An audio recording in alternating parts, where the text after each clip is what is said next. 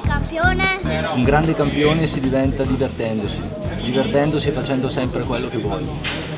Sempre con rispetto e con la voglia di lavorare e di raggiungere tutti gli obiettivi.